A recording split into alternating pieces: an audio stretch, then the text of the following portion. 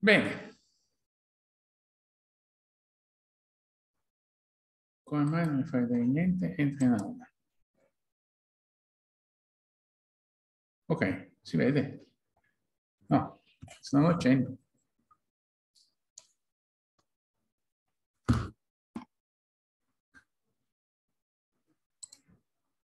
Ok, segnali di pericolo. Bene. Ciao a tutti, anche chi mi segue di qua, chi mi segue di là. Vediamo se arriva qualcuno. È arrivato l'invito sull'applicazione, che non arriva ancora nessuno. Bene. Non è arrivato? Oh, caspita. Non l'ho mandato. Mi sembra non l'ho mandato. Ok. Adesso è arrivato. Giusto? Bene. Nuova condivisione. Dobbiamo condividere questo qua. No, quello condiviso non lo so. Eh.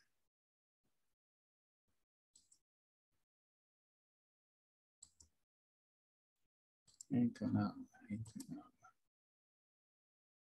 Ok. Nuova condivisione. Aula. Visualizza. Ana. Ok. Ci siamo. Segnali Ciao, di pericolo. Ciao. Secondo capitolo, segnali di pericolo. Bene. Partiamo subito col primo segnale di pericolo.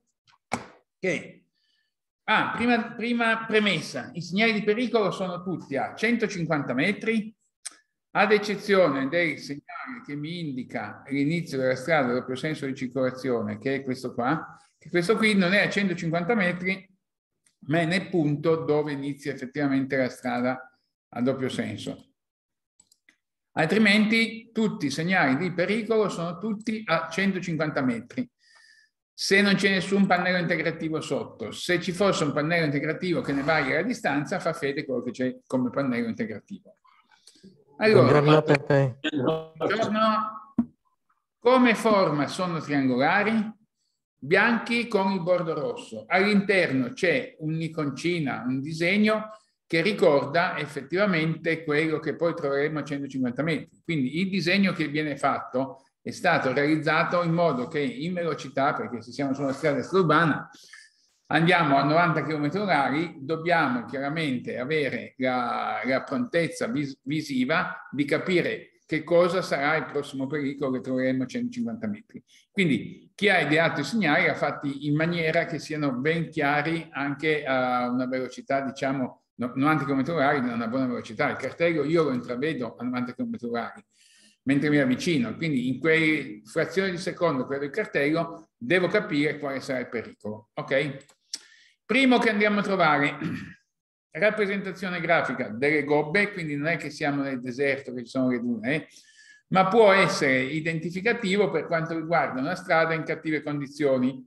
Cattive condizioni cosa vuol dire? Strada dissestata, andiamo a vedere, che presenta, adesso qui è portato all'esasperazione, questa strada proprio non c'ha niente di manutenzione, perché comunque ce ne sono purtroppo strade così. Eh? Quindi siamo in presenza di questo tipo di strada qua.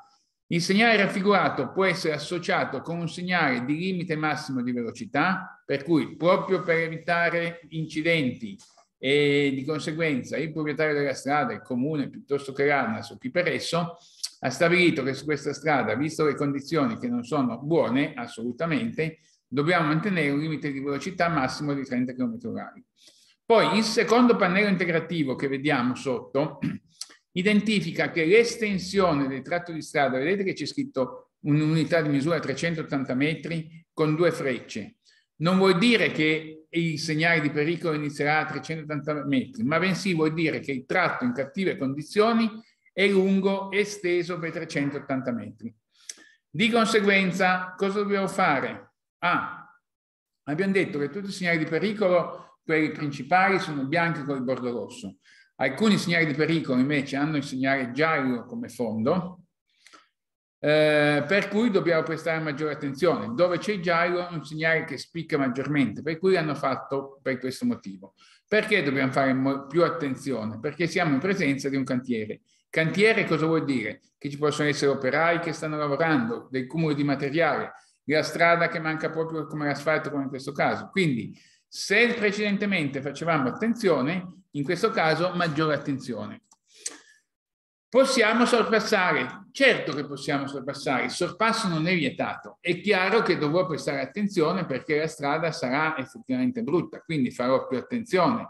Farò attenzione anche ai veicoli che vengono di fronte, perché anche i veicoli che vengono di fronte hanno le mie stesse preoccupazioni di deviare le buche e quindi c'è il rischio che si spostino.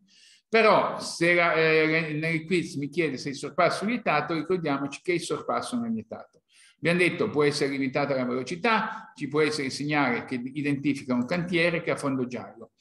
Problema grosso cosa ce l'abbiamo? Ce l'abbiamo chiaramente sul uh, controllo del veicolo per quanto riguarda la, la necessità di deviare le, le, curve, le curve, scusate, le, le buche piuttosto che i dossi o quello che ci sono.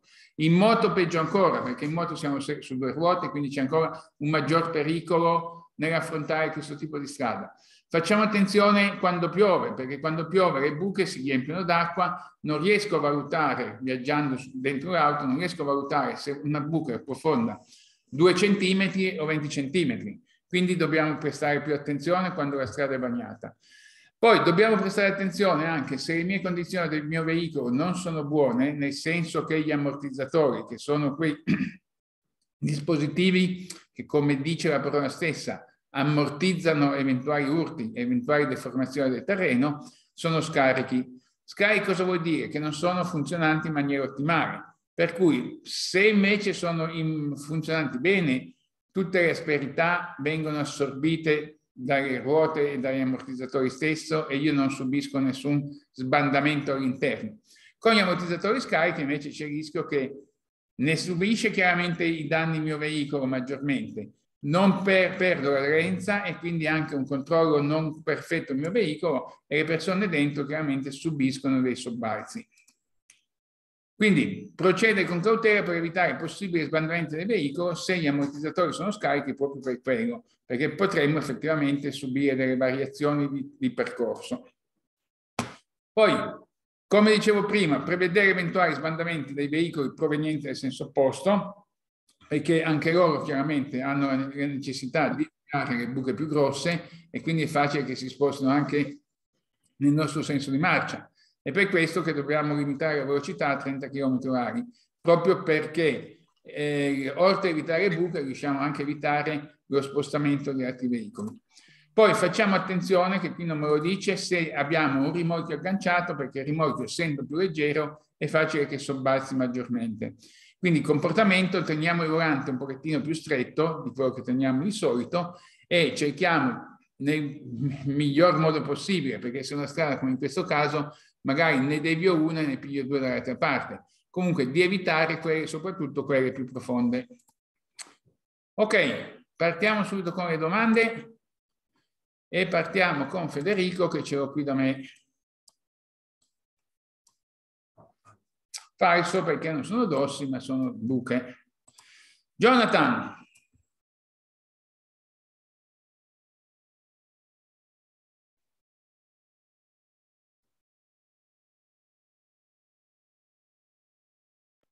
Era... No, attenzione, non solamente se provengono veicoli del senso opposto, eh? Vedi che c'è scritto solo. Dobbiamo rallentare anche perché la strada è in cattive condizioni, quindi io ho perdo aderenza. Mm? Attenzione quando c'è scritto solo. Anna.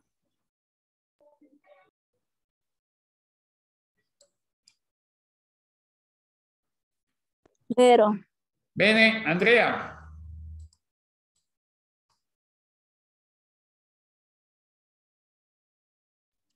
Falso. Benissimo. Oh, adesso abbiamo Luca.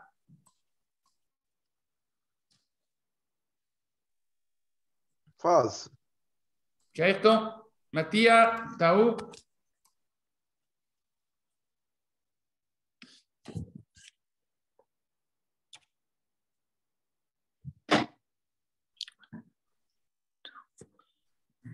Falso.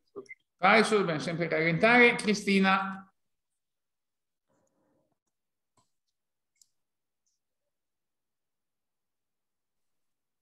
Vero. Vero? Ok. Bene, andiamo avanti, andiamo avanti, cambiamo perché domande non c'è più nessuno.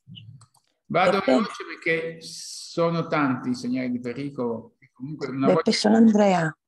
Sì, Io non riesco a rimanere sul telefono perché non ho batteria. Eh, cioè, cerco di entrare sul computer, ma mi serviva il passcode della riunione. Perché è la prima volta quando uso il computer eh, per il Zoom. e non riesci a copiarlo da- da- da- da- dal telefono. Perché io Ah. che uscire, Oh.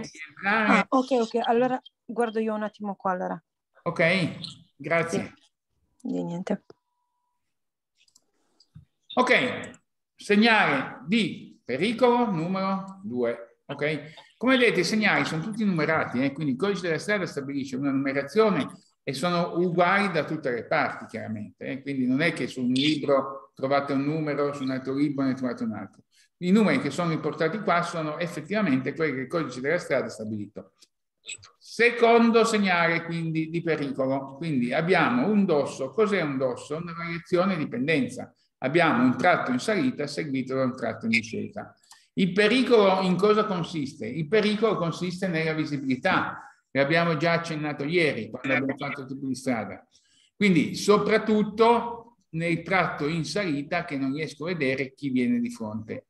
Per cui nel tratto in salita, se la strada fosse come disegno ha due corsie doppio senso di circolazione, non posso sorpassare. Però non solamente dove c'è il dosso, ricordiamoci, non posso sorpassare solamente se la strada è in queste condizioni, però su tutti i tipi di dosso non posso sostare, non posso fermarmi, non posso fare immersione di marcia e non posso fare retromarcia. Queste quattro cose sono fondamentali perché è vietatissimo su tutti i tipi di dossi, anche perché ci metteremo in situazioni chiaramente di fare manovre su un dosso, chiaramente creeremo delle situazioni di intralcio di altri veicoli con il rischio che ci vengano addosso. Quindi il segnale, come abbiamo detto, lo troviamo a 150 metri prima dell'inizio del dosso, comportamento manteniamo più a destra possibile e facciamo attenzione a eventuali veicoli che provengono dalla parte opposta. In questo caso, ripeto, il sorpasso è vietato solamente quando siamo in questa situazione qui. Un dosso con due corsie solamente, doppio senso di circolazione. Fosse una strada a senso unico, fosse carreggiate separate, potremmo sorpassare anche nel tratto in salita. Mentre nel tratto in discesa, chiaramente, se siamo qua sopra con la nostra macchina e stiamo scendendo giù, è chiaro che abbiamo visibilità, per cui in discesa è considerato possibile il sorpasso.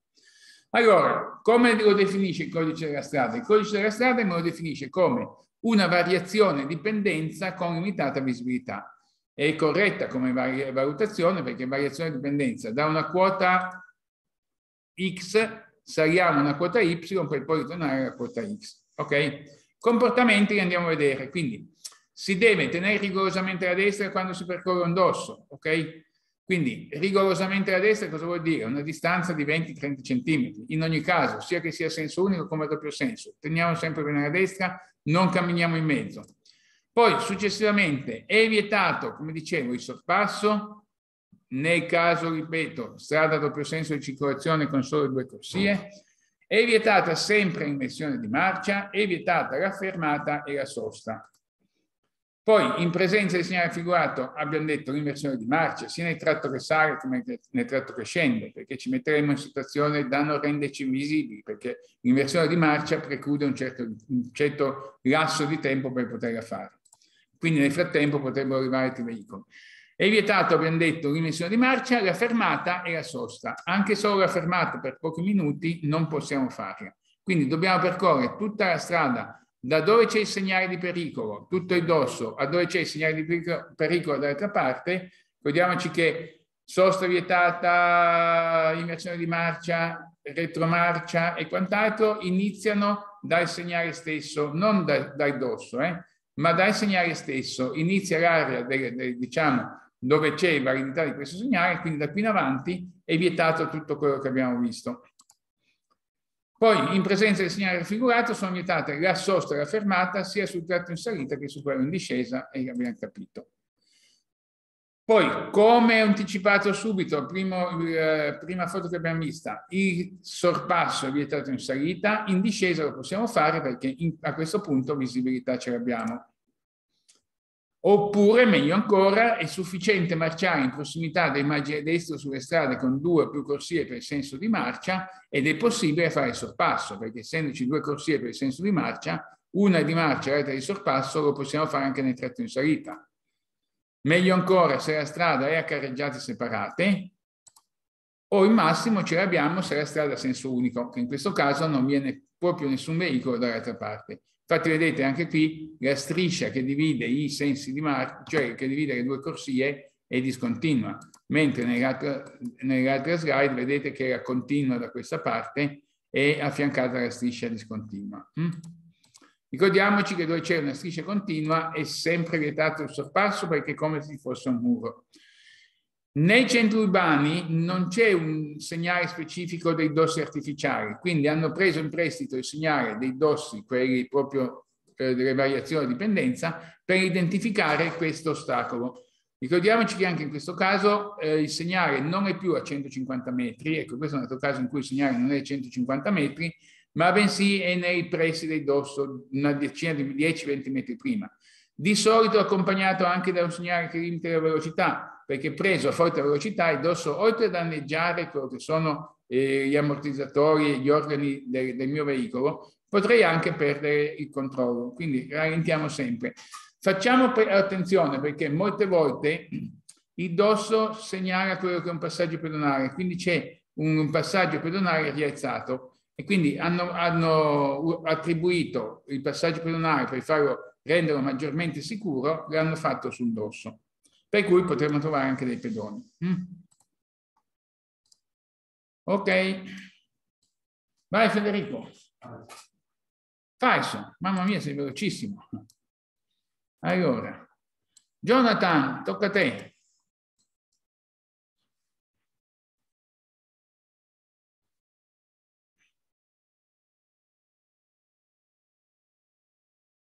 Sì, vero.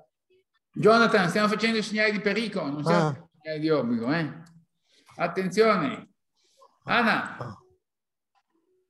Okay. Falso. Falso, perfetto. Luca.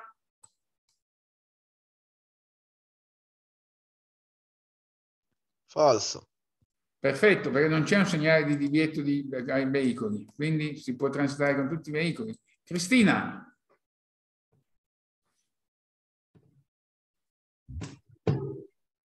Falso. Esatto. Mattia?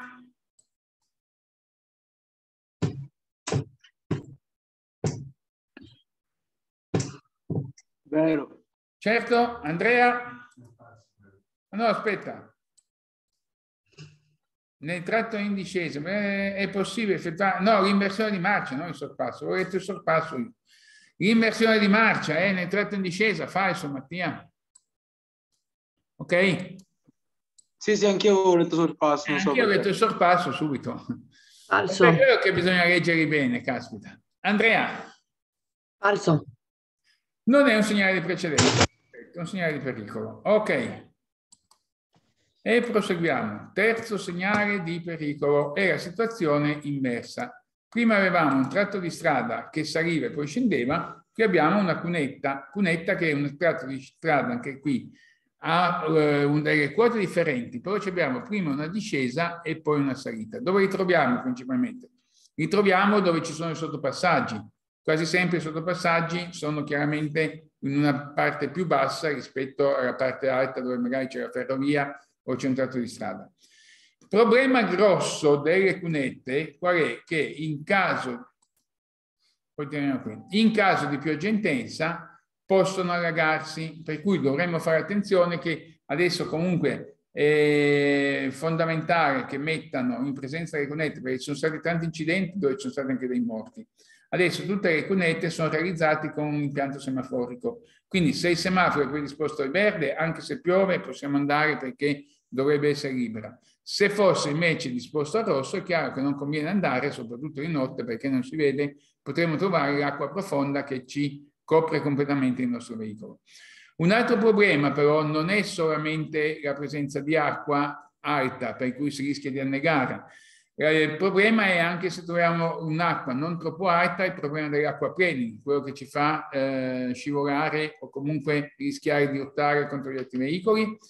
E un altro problema ulteriore anche, nel caso che sia smessa la pioggia, quindi non piove più, essendo una zona depressa, cosa vuol dire una zona depressa? Più bassa del piano campagna che c'è sopra, del piano stradale che c'è sopra, tutti i detriti, le sporcizie il fango si va a accumulare nella parte bassa e quindi è facile trovare in questa parte qui, anche quando non piove più, delle, della sabbia, della ghiaia o anche del fango. Quindi facciamo anche attenzione, ok? Poi, pericolo, allora, anche qui il sorpasso non è vietato, eh? facciamo attenzione il sorpasso è vietato nell'eventualità che siamo in presenza di una curva, però se abbiamo una striscia discontinua possiamo sorpassare anche, qui dobbiamo prestare bene attenzione alla segnaletica orizzontale. Se abbiamo la striscia discontinua sappiamo che possiamo sorpassare sempre. Quindi anche in presenza di, di chiaramente un sottopasso, se la linea è discontinua possiamo sorpassare.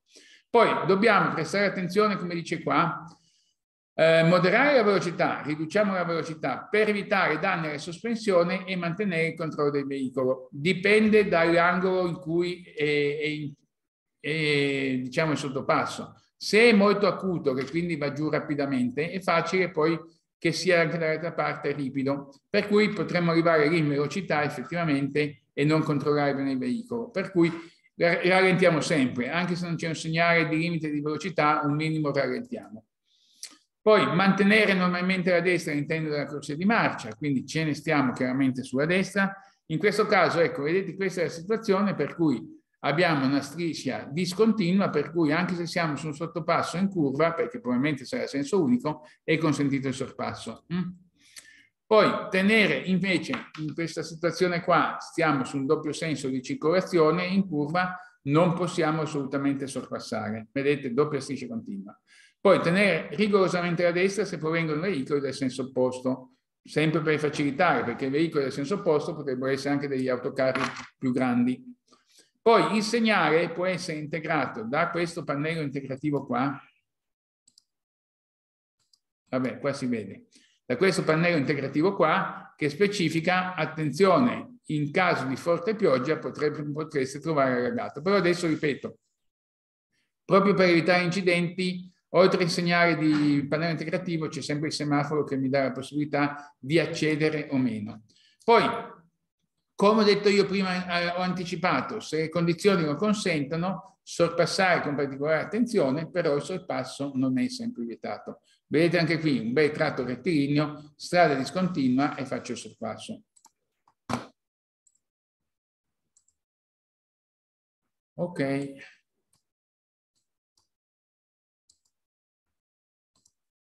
Ah, già risposto io, va bene. Federico, tocca a te.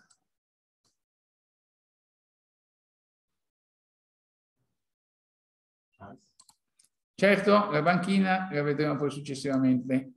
Anna, no, Jonathan, scusa, Jonathan.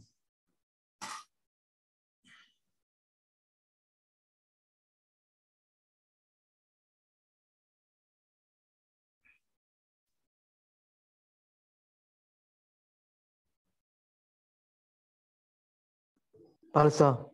Falso, perfetto, perché non è un, una strada deformata questa. Bene. Anna.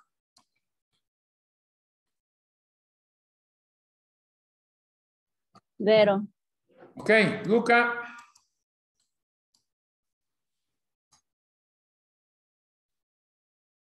Falso. Falso perché ricordiamoci, i segnali di pericolo prevedono sempre che io diminuisca la mia velocità, proprio perché non so cosa vado incontro. Abbiamo detto che sono 150 metri, quindi io prima vedo il segnale, di conseguenza rallento e sono pronto eventualmente a rallentare ulteriormente se non a fermarmi. Mm? Mattia?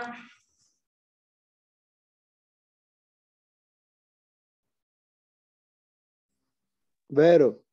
Ok. Andrea?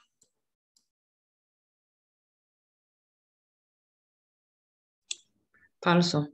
Perfetto. E Cristina?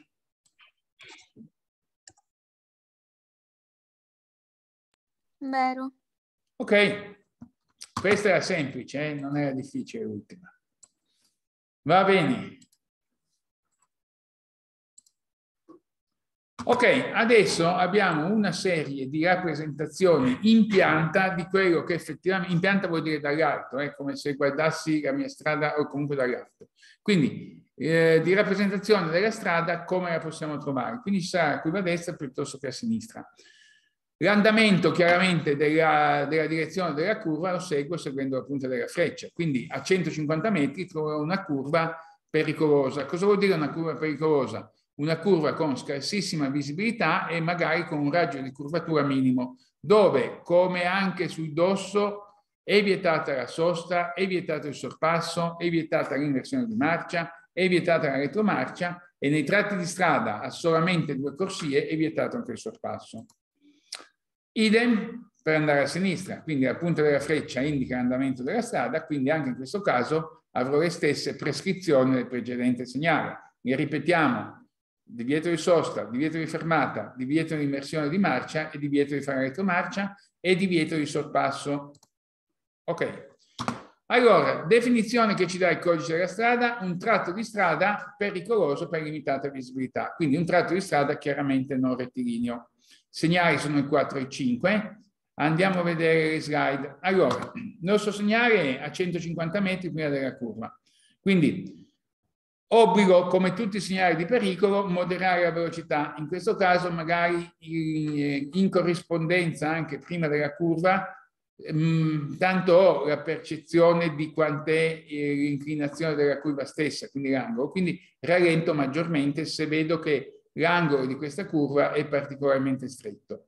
Sul bordo, sul bordo della strada, rivedremo poi successivamente, ci sono questi pannelli che mi aiutano nelle ore notturne, perché sono pannelli anche in questo caso riflettenti, nelle ore notturne che vengono colpite dalle fasce luminose a indicarmi l'andamento della strada, quindi anche al buio riesco a capire l'inclinazione della curva quant'è. Ehm, poi dice il segnale raffigurato richiede di moderare la velocità per poter arrestare il veicolo in caso di un ostacolo improvviso. Potrebbe esserci in mezzo alla curva, magari che ne so, qualsiasi cosa, delle mucche che stanno andando al pascolo, potrebbe esserci un ciclista che è caduto. Non ho la percezione visiva di cosa succede. È per questo che dobbiamo rallentare, uno, e anche per il discorso che affrontare la curva ad una velocità eccessiva, la forza centrifuga tenderebbe a spostarci verso l'esterno. Mm.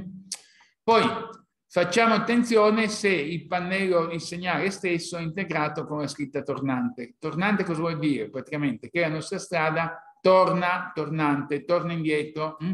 quindi è una curva molto stretta per cui dobbiamo ridurre molto la velocità e mettere magari anche una marcia più bassa. Quindi il segnale raffigurato preannuncia un tratto di strada in cui è necessario regolare la velocità in reazione alla visibilità e al raggio di curvatura, soprattutto al raggio di curvatura. Poi abbiamo visto, abbiamo detto anzi, e comunque abbiamo visto all'inizio, che i segnali di pericolo sono tutti a 150 metri, però abbiamo specificato anche che potrebbero essere ad una distanza diversa se ad esempio la curva è particolarmente pericolosa e vogliono farmi rallentare prima. Per cui il segnale me lo mettono a 320 metri, in questo caso, e mi dico, fa attenzione che a 320 metri hai necessità di rallentare maggiormente, per cui eh, c'è un pannello integrativo. Mm?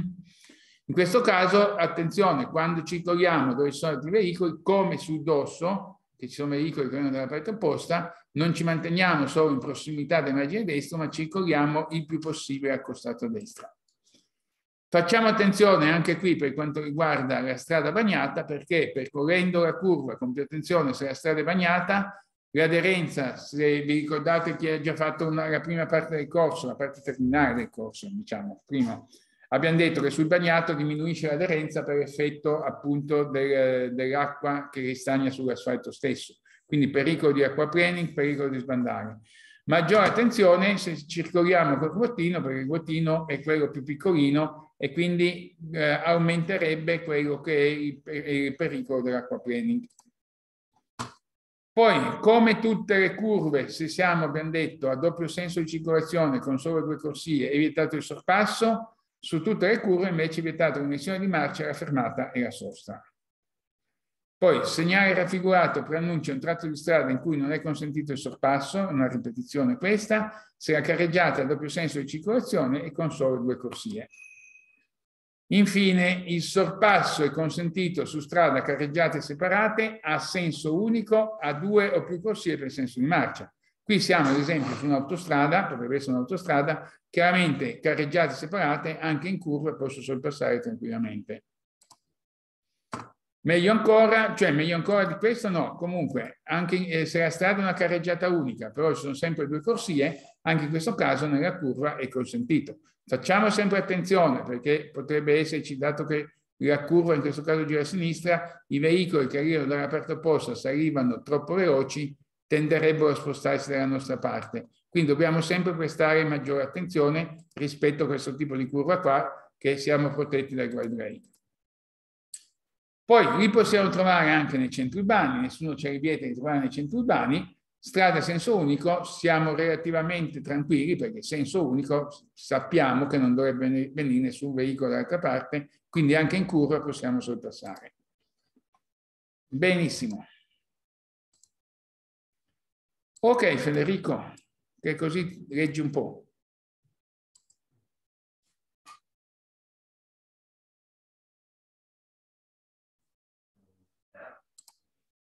Attenzione, presenza segnale figurato consentita su strada a doppio senso di circolazione a solo due corsie, sorpassare i motocicli senza invadere la corsia opposta. Qualsiasi veicolo non lo possiamo sorpassare. Eh? Anna.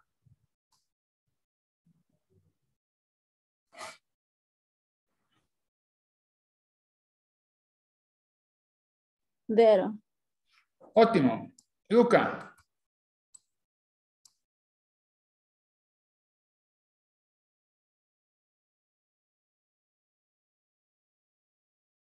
Vero. Perfetto. Mattia.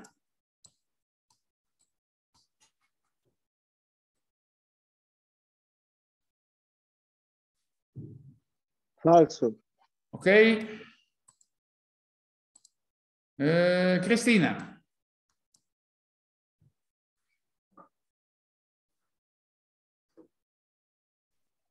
Vero. Bravissima. Andrea.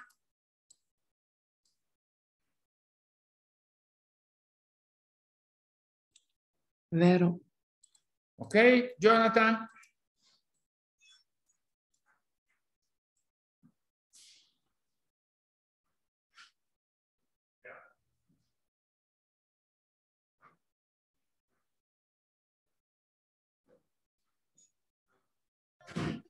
Falso. Falso, ok. Boh, ancora Federico, va? Ciao. Vero, ok.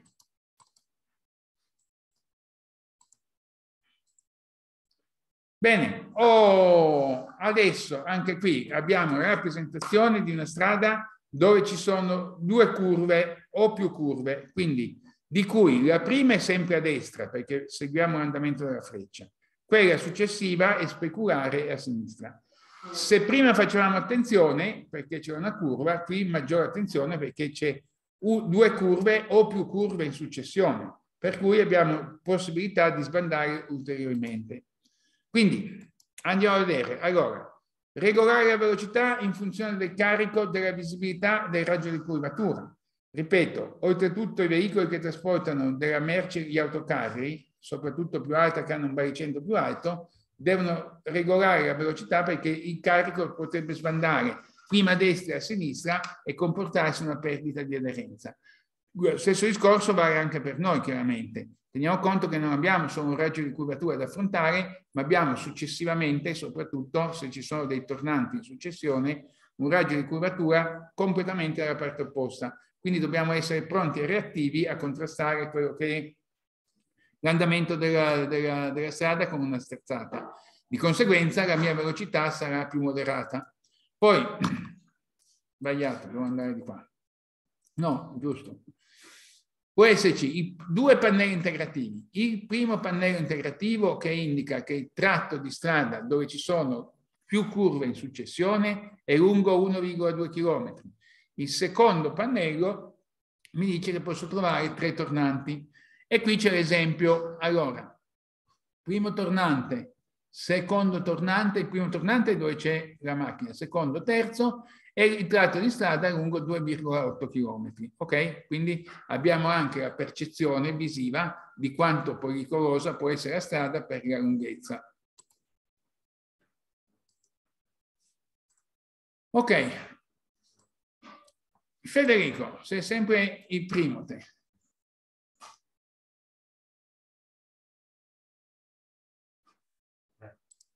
Ok. Ah, è chiaro che vale tutto quello che ho detto per il precedente, quindi sosta vietata, fermata vietata, inversione di marcia vietata, retromarcia vietata. E il sorpasso anche qui, vale, come regola generale vale sempre la stessa, eh? non, non l'ho ripetuta perché l'ho dato per scontato. Eh? Jonathan.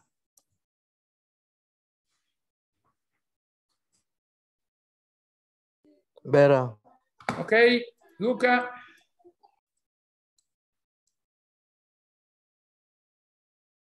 Falso. Bene. Mattia?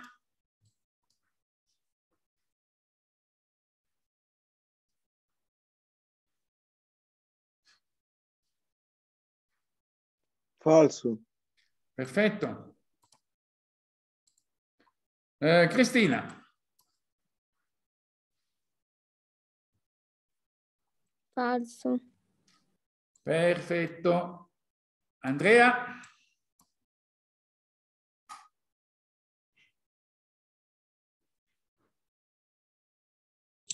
Vero. Ok. Anna? Vero. Ok, anche questa era semplice. Dai che andiamo ancora avanti, che più andiamo avanti e più siamo bravi. Bene, oh, se vi ricordate che abbiamo già visto, quando è che l'abbiamo visto? Quando abbiamo fatto la strada che abbiamo parlato del passaggio a livello. Abbiamo detto il segnale per poter rappresentare un passaggio a livello, chi l'ha disegnato, cosa ha disegnato? Un cancello chiuso. Meglio di così che rappresentarlo in un altro modo non poteva. Infatti a 150 metri troveremo una barriera o una semibarriera, ok? Quindi è situato a 150 metri prima e può essere integrato o seguito. Adesso andiamo a vedere. Allora, 150 metri prima di, in questo caso, passaggio a livello con barriere. Abbiamo detto passaggio a livello è un incrocio tra una linea ferroviaria e una linea stradale. Passaggio a livello vuol dire che sulla stessa quota. Dove c'è la barriera c'è una sbarra che occupa completamente tutta la carreggiata. Troveremo quindi dove c'è la barriera una luce semaforica, una lanterna semaforica di colore rosso fissa. Quando entra in funzione? Entra in funzione molto prima che arrivi il treno. Perché? E prima che si abbassino le sbarre, perché inizia ad avvisarmi che a lì a breve, potrebbe essere 5 minuti, 10 minuti, non è dato da sapere, e suona anche la campana, si abbasseranno, eh, cioè arriverà il treno. Quindi la prima cosa entra questa in funzione. Mi dà la possibilità, perché non è simultaneo, entra questa in funzione, boom, vengono giù le, le barriere come un ponte elevatorio, eh? Ma mi dà la possibilità di attraversare se sono nei pressi, quindi per non frenare di colpo o non rischiare di fermarmi in mezzo, mi dà, prima che si abbassino le barriere, la possibilità di attraversare in sicurezza tutto quanto. Poi, dopo un minuto circa, si abbasseranno le barriere in modo che chi doveva passare è passato. La campana continua a suonare. Dopo tot minuti, che non è dato da sapere perché purtroppo non si sa, arriverà il treno. Ok? Poi, una volta che è passato il treno, cosa succede? Si alzeranno dopo un pochettino le barriere e per ultimo si spegnerà la luce e la campana. Mm? Quindi inizia a funzionare per prima sia la campana che la luce e si spegne per ultima. In più, insieme al segnale di pericolo, a 150 metri che abbiamo detto, ci sarà il primo dei pannelli distanziometrici con le tre diagonali Poi a 100 metri ci sarà il secondo con due diagonali, a 50 metri ci sarà l'ultimo con una diagonale sola. Ok? Questi ci sono sempre, ehm, pannelli distanziometrici ci sono sempre, eh, su tutti i tipi di passaggio livello. Quindi comportamento, allora se ci sono le semibarriere invece abbiamo la differenza che invece di avere una luce fissa avremo due luci lampeggianti. Il funzionamento è sempre lo stesso, che entrano in funzione prima insieme alla campana. Quindi eh, il pericolo, poi i pannelli sensometrici ci sono sempre, abbiamo detto dove sono le semibarriere, perché semibarriere? Perché abbiamo detto vuol dire semibarriere, vuol dire metà barriera. Mi copre la semicarreggiata. Cosa vuol dire semicarreggiata? Mi copre metà carreggiata, mentre la barriera me la copre tutta quanta. Ok? Quindi anche in questo caso rallentiamo e facciamo attenzione chiaramente che non ci siano le barriere chiuse, ma soprattutto di non oltrepassare dall'altra parte. Vale per tutti i veicoli, vale anche per i pedoni, eh? non perché sono a piedi posso passare. Mm? Poi è vietato transitare tra una barriera e l'altra se le semibarriere sono abbassate, quello che ho detto prima. Poi sono vietate anche in questo caso, come sui dossi, come sulle curve, la fermata sia in prossimità e la sosta sia in prossimità che in corrispondenza del passaggio livello. Cosa vuol dire in prossimità? In prossimità abbiamo detto è stabilito da quando c'è il segnale di 150 metri. Abbiamo detto che anche eh, dove c'è la curva, dove c'è il dosso, non possiamo sostare, fermarci, fare inversione di marcia retromarcia dal segnale stesso, ok? Poi qui mi dice ancora in corrispondenza, è chiaro che non vado a, a sostare sulle strisce, sul, um, sui binari. Poi è vietata l'inversione di marcia in prossimità in corrispondenza del passaggio livello, come abbiamo detto prima, è vietato il sorpasso se si oltrepassa la linea di mezza via. Cosa vuol dire? Allora uno mi potrebbe dire, ma se io non la sorpasso la linea di mezza via, perché davanti a me c'è una bicicletta, c'è un motorino e riesco a starci dentro, posso sorpassare? Sì. In questo caso dove c'è la barriera e io ho una macchina, una, cioè ho da sorpassare un veicolo piccolino, stretto, lo posso sorpassare, l'importante è che io non superi la linea continua. Se invece anche con solo due ruote ho la necessità di oltrepassare linea continua, non posso sorpassare. Infatti, eccolo qua, è consentito il sorpasso se non si sorpassa la linea di mezzeria. Quindi il motorino piuttosto che una bicicletta lo posso sorpassare. È chiaro che in ogni caso arriverò qua, mi fermo. Poi, nell'eventualità, perché può capitare che non funzioni, d'altronde parte, è una parte elettrica tutta questa qua, quindi può darsi che manchi la corrente, può darsi che ci sia un guasto.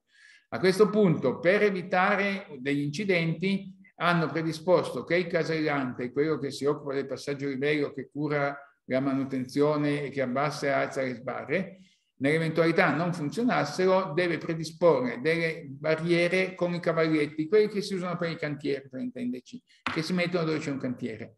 Li disporrà sia da una parte che dall'altra e chiaramente fungono da quello che è l'ostacolo della barriera. Mm? Quindi in caso di avaria del passaggio a livello, la strada può essere chiusa con cavalletti sempre rossi e bianchi. Attenzione, se il veicolo si ferma per avaria, bisogna essere ben sfortunati che si ferma proprio sul binario, o come rimango senza benzina. Comunque, il conducente deve adottare ogni iniziativa utile al fine di evitare incidenti, quindi lo spingo, mi faccio aiutare. Anche se ci sono le barriere abbassate, vado avanti, tanto queste barriere non è che sono di cemento, sono di plastica dura e quindi cedono sotto la, la spinta. Anche spingendo la mano, se uno le tira, si aprono. Quindi evitiamo di fermarci sui binari perché potremmo creare degli incidenti veramente pericolosi.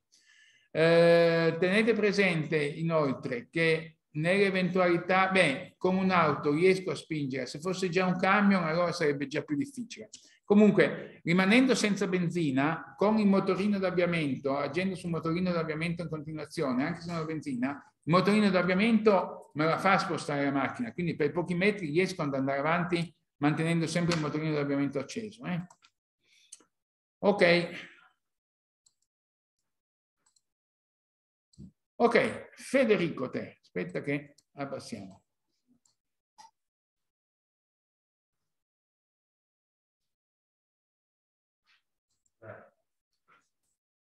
Falso, abbiamo detto sia la sosta che la fermata sono tutte due vietate, come in curva come sui dossi. Mm? Anna?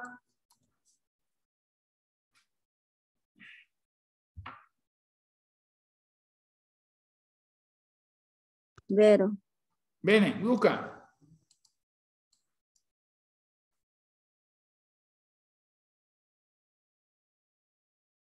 Vero. Certo, Mattia?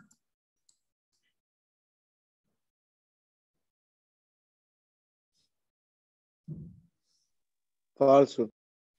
Ok. Cristina? Ciao Federico, ci vediamo domani. Ciao. Vero. Bravissima. Andrea?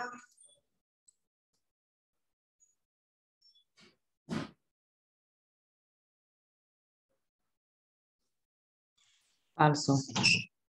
Ok. E Jonathan?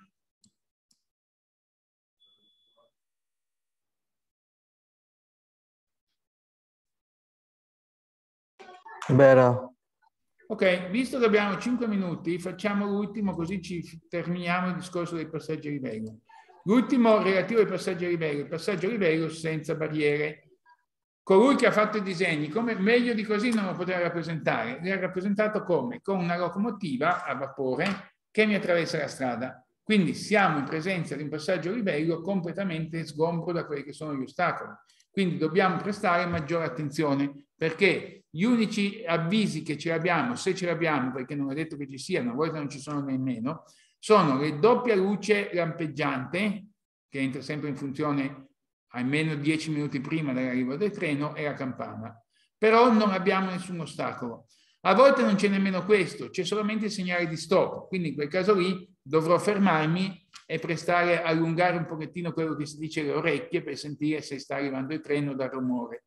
Perché in quel caso lì abbiamo proprio, sono linee ferroviarie dove magari passa un treno al giorno, però c'è sempre il pericolo che passi il treno proprio mentre stiamo sopraggiungendo noi. Quindi maggiore attenzione in questo caso qui uh, ad integrazione del passaggio a livello senza barriere, perché non sono le barriere, troveremo la croce di Sant'Andrea. Croce di Sant'Andrea che sono queste X bianche e rosse, eh, nella foto ne vedete che sono due, perché ne mettono due? Perché l'attraversamento ferroviario ci sono due o più binari. Ci fosse solo un binario ce ne sarebbe una. Croce di Sant'Andrea che potrebbe essere messa anche in verticale, non solamente in orizzontale, anche in verticale comunque ha lo stesso significato. Pannelli stanziometrici sempre e ugualmente ci sono. Poi dobbiamo fare attenzione, come sempre, vietata la sosta, vietata la fermata, e la retromarcia, l'emissione di marcia ed in più in questo caso se non c'è proprio niente, che non c'è nemmeno l'antenna semaforica, è vietato il sorpasso per tutti i veicoli. Quindi se prima una bicicletta, un motorino lo sorpassavamo se rimanevamo nella nostra semicarreggiata, in presenza di un passaggio livello senza barriere, senza segnaletica, quindi senza niente, non possiamo sorpassare nessuno. Mm? Quindi abbiamo detto, se sono due croci di Sant'Andrea ci sono due o più binari, una croce di Sant'Andrea solamente un binario. Attenzione, due o più binari, quindi potrebbero essere anche tre. Però non è che me ne mettono tre croci di Sant'Andrea, eh? ce ne rimangono sempre due. Poi, evitato il sorpasso, se per effettuare manovre è necessario spostarsi sulla corsia opposta nel senso di marcia, e questo era già palese anche da prima. Aspetta un attimo. Poi è consentito il sorpasso se non si oltrepassa la linea di mezzeria e se il passaggio a livello è regolato dall'antenna semaforica. Quindi c'è l'antenna semaforica, il sorpasso lo posso fare. Se non c'è niente, che c'è solo il segnale di stop, perché ho detto alcuni passaggi a livello senza barriere c'è solo il segnale di stop, in questo caso è vietato il sorpasso. È sempre vietato il sorpasso se il passaggio a livello non è regolato dal semaforo anche se non si oltrepassa la linea di mezzeria, ok? Quindi è l'unico caso in cui è sempre vietato. Negli altri casi basta che ci sia anche solo l'antenna semaforica, il sorpasso di un veicolo piccolo lo posso fare. Mm? Volevo solo farvi vedere cos'era questo, che non me lo ricordo più. Ah, niente, fa vedere come funziona il passaggio a livello, un'eventualità che uno non dovesse visto. Allora, con barriere... Vabbè, comunque l'avete visto, dai, è inutile che perdiamo tempo su delle cose che probabilmente avete già viste, senz'altro. Allora, Federico non c'è più, quindi andiamo subito, subito con Jonathan.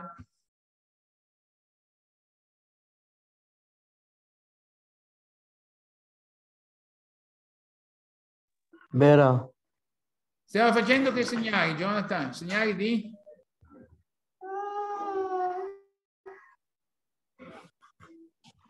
Jonathan? Vero. Stiamo facendo sì. segnali, segnali di pericolo o segnali di precedenza? È pericolo. Eh, non è precedente. Ah, sì.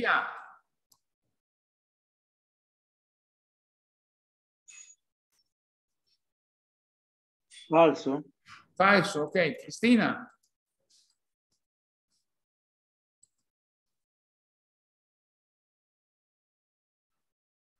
Falso.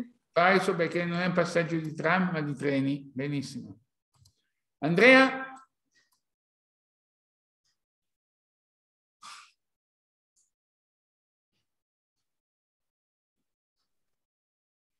Falso. Falso, se sono i cavalletti perché proprio non possiamo oltrepassare. Mm? Anna?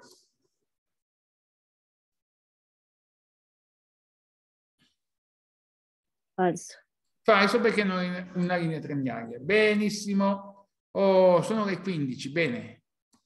Oh, per oggi basta così. Ci vediamo domani, continuiamo con i segnali di pericolo, ok? Non vi mando ancora dei quiz perché se riusciamo a finire domani, magari me li mando venerdì. Venerdì vi mando sempre qualche scheda su quello che abbiamo fatto sugli argomenti. Ok? Comunque domani o se volete rivedere questa lezione, questa sera alle 19. Va bene? Ciao Grazie a tutti. Ciao. Ciao. Ciao, grazie. Ciao. ciao. ciao.